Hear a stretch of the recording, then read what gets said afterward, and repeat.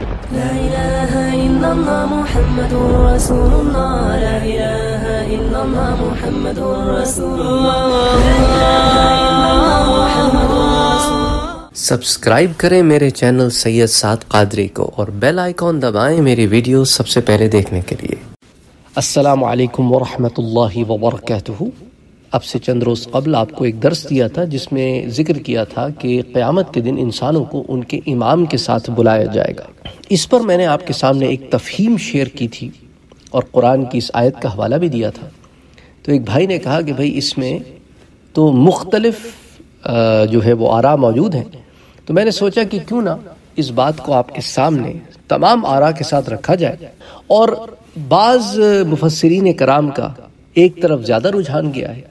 تو وہ اس کے زیادہ قائل ہے بعض مفسرین کا دوسری طرف رجحان گیا ہے، تو وہ اس کے زیادہ قائل ہے قرآن کی جس آیہ کریمہ کے بارے میں ہم بات کر رہے ہیں، یہ سورہ بنی اسرائیل کی آیہ نمبر سیونٹی ون کا پہلا جز ہے، جس میں اللہ عز و جل فرماتا ہے، اعوذ باللہ من الشیطان الرجیم، بسم اللہ الرحمن الرحیم۔ یوم ندعو کل اناس بإمامہم جس دن ہم تمام انسانوں کو ان کے امام کے ساتھ بلائیں گے۔ اچھا اسی آیت کا جو دوسرا ٹکڑا ہے، بعض علماء نے اسے سامنے رکھتے ہوئے پہلے ٹکڑے میں وضاحت کی۔ اور بعض نے دوسرے ٹکڑے کو پہلے ٹکڑے سے نہیں ملایا۔ دوسرا ٹکڑا یہ ہے جس میں اللہ عز و جل فرماتا ہے، فَمَنْ أُوتِيَ كِتَابَهُ بِيَمِينِهِ فَأُولَئِكَ يَقْرَؤُونَ كِتَابَهُمْ وَلَا يُظْلَمُونَ فَتِيلًا۔ اور پھر جس اس کا اعمال نامہ اس کے دائیں ہاتھ میں دیا گیا، تو وہ اپنا اعمال نامہ پڑھیں گے اور ان پر دھاگے برابر بھی ظلم نہ کیا جائے گا۔ تو اب یہ آیت مبارکہ ہے۔ اب اس کے اندر مختلف علماء کرام مختلف تفہیم بیان کرتے ہیں۔ اچھا پہلے میں آپ سے ذکر کرتا ہوں چند آراء کی، پھر اس پہ میں آپ سے ذکر کروں گا۔ حافظ ابن کثیر، وہ اس ضمن میں کیا رائے رکھتے ہیں؟ اور پھر دیگر اور مفسرین جو ہیں، انہوں نے اس ضمن میں کیا فرمایا ہے۔ تو تفسیر ابن کثیر میں، اس آیت کے ضمن میں حافظ ابن کثیر لکھتے ہیں کہ اللہ تبارک و تعالی نے بیان فرمایا ہے کہ وہ روز قیامت ہر امت کا اس کے پیشوا کے ساتھ حساب لے گا۔ خود لکھتے ہیں کہ آئمہ تفسیر کا اس میں اختلاف ہے کہ یہاں امام سے کیا مراد ہے۔ حضرت مجاہد اور حضرت قطادہ رحمۃ اللہ علیہم یہ دو حضرات تابعین میں سے ہیں اور ان کا قول ہے کہ اس سے ہر امت کا نبی مراد ہے اور تفسیر تبری میں یہ رائے ان کی موجود ہے۔ اسی وجہ سے بعض سلف نے کہا ہے کہ یہ بہت بڑے شرف کی بات ہے، کیونکہ ان کے امام نبی ہیں۔ یعنی کہ حضور صلی اللہ علیہ وآلہ وسلم جو ہے، وہ آئیں گے اور ان کے حضور صلی اللہ علیہ وآلہ وسلم کی امامت میں یہ امت آئے گی۔ اچھا ابن زید کا قول ہے کہ یہاں امام سے مراد ان کی وہ کتاب ہے جو اللہ نے ان کے نبی پر اتاری تھی۔ یہ قول بھی تفسیر تبری میں موجود ہے، تفسیر قرطبی میں موجود ہے۔ اچھا ابن جریر نے بھی اس قول کو اختیار کیا ہے۔ اور ابن ابو نجیح نے حضرت مجاہد سے روایت کیا ہے کہ اس سے مراد لوگوں کی طرف نازل ہونے والی کتابیں ہیں۔ تو حضرت مجاہد کے دو قول آ گئے۔ ایک آ گیا کہ ان کے امام نبی ہوں اور ایک اس سے مراد لوگوں کی طرف نازل ہونے والی کتابیں ہیں۔ اس بات کا احتمال ہے کہ اس سے ان کا یہی مقصود ہوا اور اس بات کا بھی احتمال ہے کہ اس سے مراد ان کے اعمال کی کتاب بھی ہو سکتی ہے، یا وہ کتاب جو ان کی طرف نازل کی گئی، یا وہ کتاب جو ان کی اعمال ہے۔ جیسا کہ اوفی نے ابن عباس سے روایت کیا ہے، تو حضرت عبداللہ ابن عباس کا بھی ایک قول آ گیا، جو تفسیر تبری اور تفسیر قرطبی دونوں میں موجود ہے۔ ابو عالیہ، حسن اور ضحاک کا بھی یہی قول ہے، اور ان حضرات کا یہ قول جو ہے، یہ تفسیر تبری میں موجود ہے۔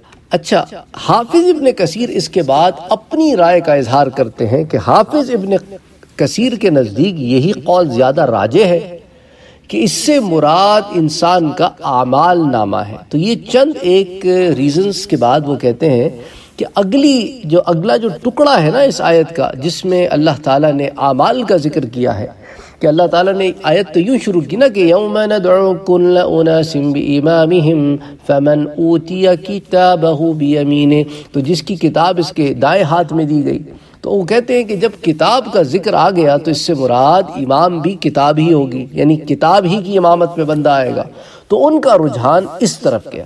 اب آئیے دیکھتے ہیں کہ اس ضمن میں باقی آئمہ کرام کیا کہتے ہیں۔ تو قیامت کے دن ہر شخص کو اس کے امام کے ساتھ پکارا جائے گا۔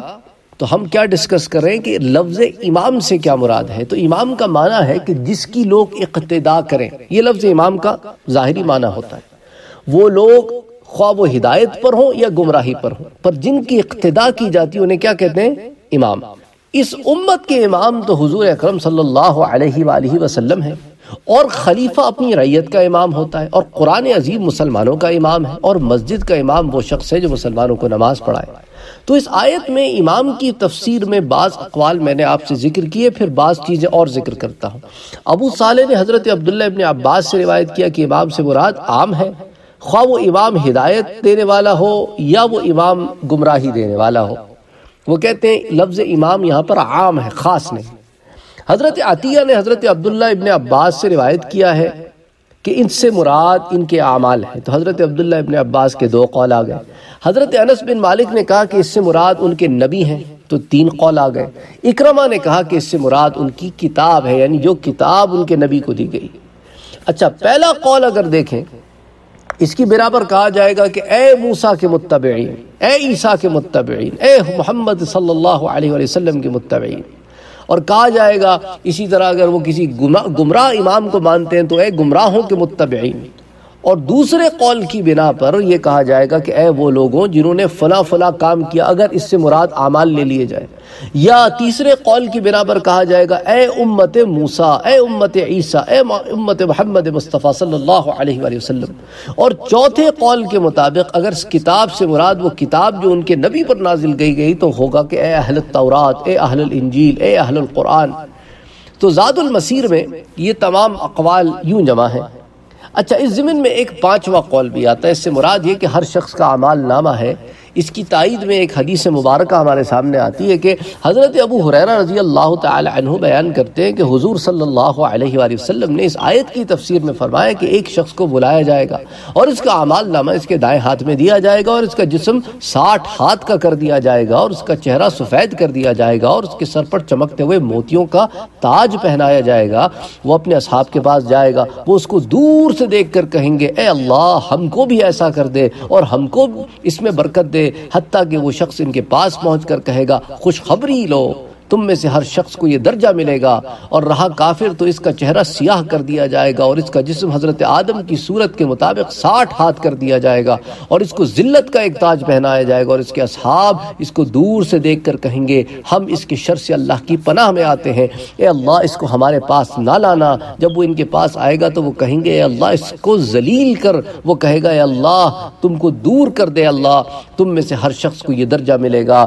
بارہ سنن ترمزی میں صحیح ابن حبان میں، مسند ابو یعلا میں، اسی طرح المستدرک امام حاکم میں حلیت الاولیاء میں، یہ روایت آتی ہے۔ علامہ ابو عبداللہ مالکی قرطبی نے مزید چند اقوال کا ذکر کیا ہے۔ وہ کہتے ہیں کہ حضرت علی کرم اللہ وجہ نے فرمایا کہ اس سے ہر زمانے کا امام مراد ہے۔ ہر شخص کو اپنے زمانے کے امام کے ساتھ پکارا جائے گا۔